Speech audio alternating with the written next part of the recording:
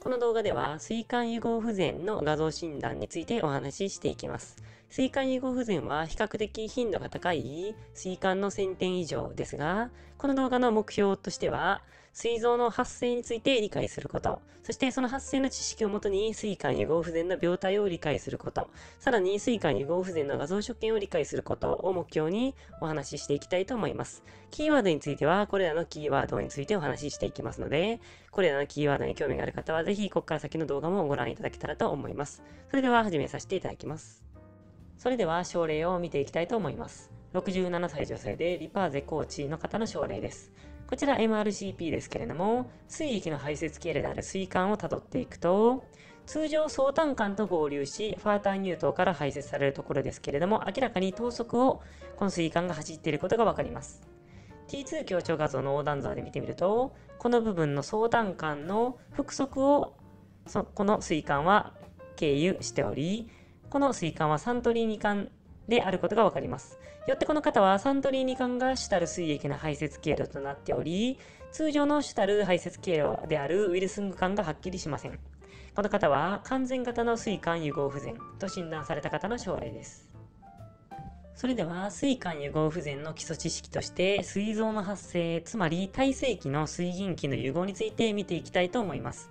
こちら体性期に臓器が成長していく様を描いたシーマですが、例えばこちらが肝臓の大元となる部分、胆嚢の大元となる部分、膵臓の大元となる部分に関しては、もともとお腹側にある腹側水源器と、もともと背中側にある背側水源器の2つがあり、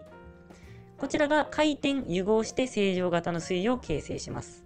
十二指腸が発育分化するとともに、この部分の相単管と一緒に、腹側水源器がくるっと回転し、背側水源器と融合します。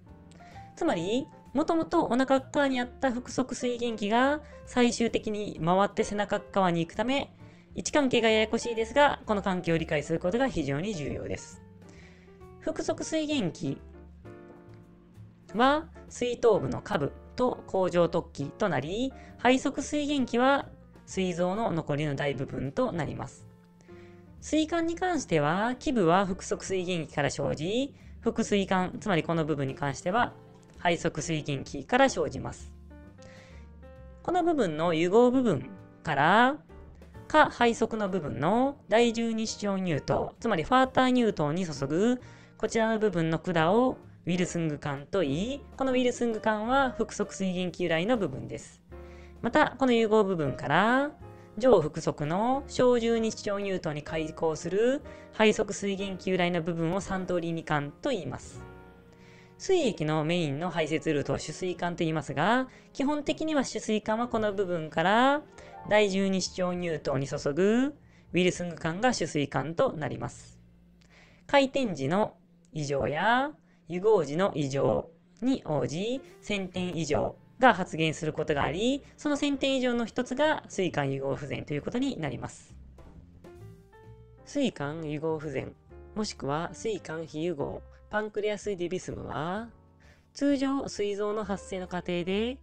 サントリーニ管とウィルスング管はこのように融合しますが、そのような正常な融合が見られない先天的な形態異常となります。欧米では約6%、アジアで1.5%とされ、日本人の検診 MRCP では2.6%と報告されています。症状は大部分の症例が無症状で、膵臓に関連した症状を発症するのは5から10%に過ぎません。こちらの小を十二指腸乳頭がメインの排泄ルートとなり、こちらの部分は出口が狭いですので、水液の訴えが起き、それによる腹痛が生じる場合があります。水管融合不全は、特発性慢性膵炎や再発性急性膵炎のリスク因子となっています。こちらは先ほど説明したように、水液が狭い副乳頭から流出するため、膵臓の中に滞留しやすくなり、膵炎を引き起こしやすいことが原因となっています。特発性再発性膵炎、患者さんの12から26%に見られます。若年者の明らかな原因のない膵炎や、肺側膵管、腹側膵管の一方の膵管系にのみ膵炎を認める場合には念頭に置く必要があります。そのような一方の水管系のみの水炎のことをアイソレイティッドパンクレタイティスと言いますけれども、水液が訴えしやすい肺側水管の頻度が高いです。飲酒が加わることで水炎の発症率が上昇します。水炎発症のメカニズムに関しては、この部分の副乳頭の排泄能力が低く、水管内圧が上昇するためと推測されており、乳頭切開で治癒することがその根拠とされています。また、CFTR などの遺伝子異常も、水管融合不全や水炎合併の原因の一つとして推測されています。続いて血液検査に関してですが、特に水炎合併が疑われる症例では、アミラーゼ、リパーゼの上昇がないか確認し、感染合併例では白血球や CRP が上昇します。また、水管融合不全は、抗水アミラーゼ結晶、もしくは抗水リパーズ結晶との関連があり、オツ比13.2で報告されています。続いて、水管融合不全の分類ですけれども、通常はこのウィルスング管とサントリーニ管がこの部分で融合し、ウィルスング管がメインの排泄ルートとなって、相単管と交通して第12指腸乳頭から水液が排泄されます。サントリーニ管は細いですけれども、小十二指腸乳頭から水液が排泄されます。このような正常な融合が見受けられないのが水管融合不全で、この部分のサントリーニ管が主な排泄ルートとなります。水管融合不全では、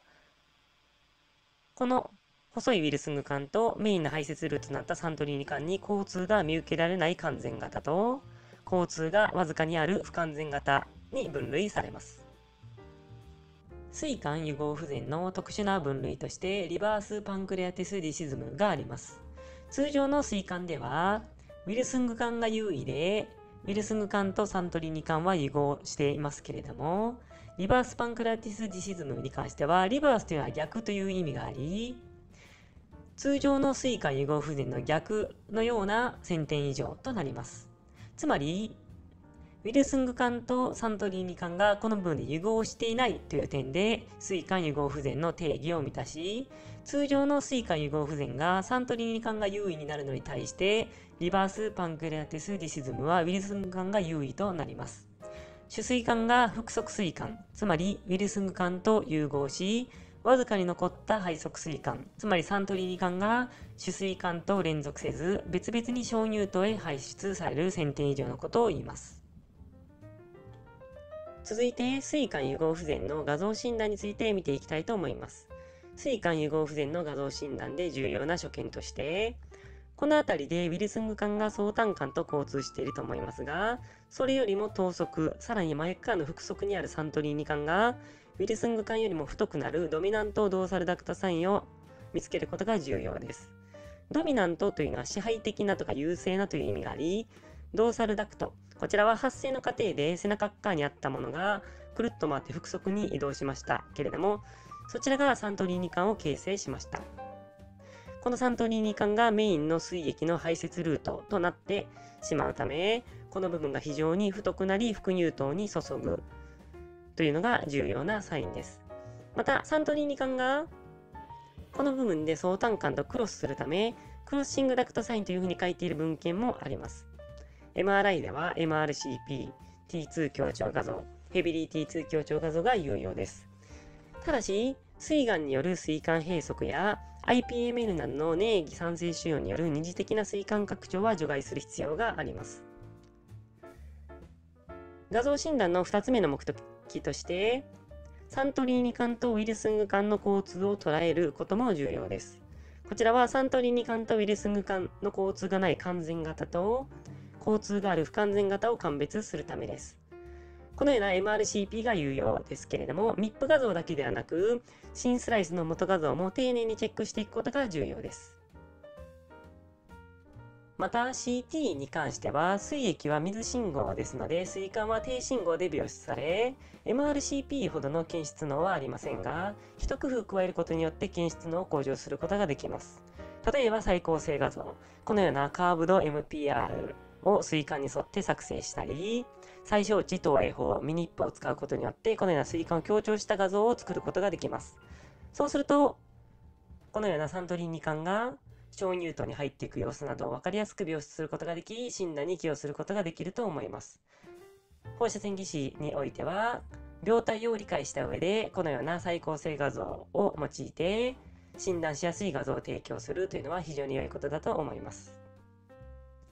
先ほどは背側水管と腹側水管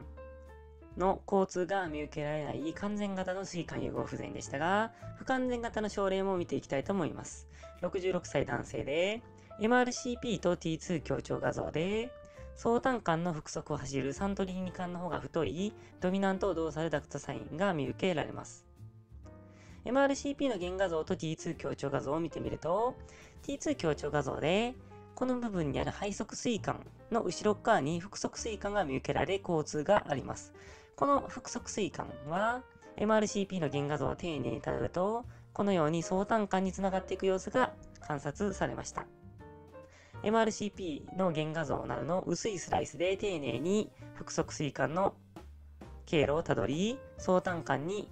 連続し、さらに背側水管と腹側水管の交通をしっかりと証明することが大切です。この方ですけれども、経過の段階で上腹部痛が発症し、CT を取ってみると、ゲルタ筋膜の飛行と水周囲の脂肪式の上昇が見受けられ、急性膵炎と診断されました。このように、膵管融合不全は急性膵炎のリスク因子となっています。さらに時間を置いて造影 CT の水磁質を見てみると、この部分に火星農法ができていますが、このような急性膵炎に伴う合併症の液体貯留に関しては、次の動画で詳しく解説していく予定です。続いて、膵管融合不全の治療についてですけれども、膵管融合不全はほとんどの症例が無症状であり、無症状の場合は治療介入はしませんが、症状が出る場合には治療が必要となります。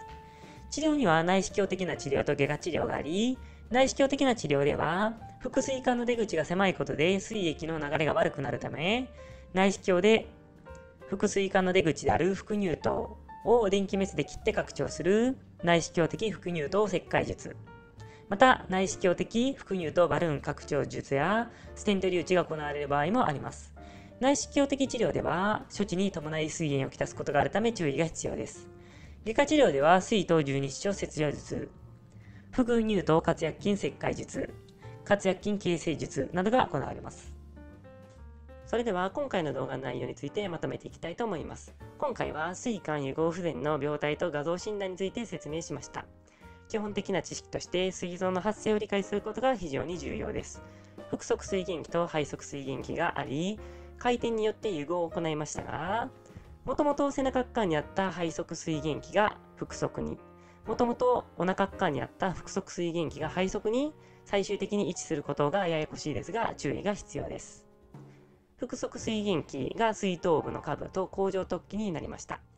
また水管の位置関係についても理解することが重要で、下背側を走るのがウィルスング管、上腹側を走るのがサントリーニ管となります。水管融合不全の病態に関しては、サントリーニ管とウィルスング管の間に正常な融合が見られない先天的な形態異常でした。分類としては完全型、不完全型、リバース、パンクラティス、リビズムがありました。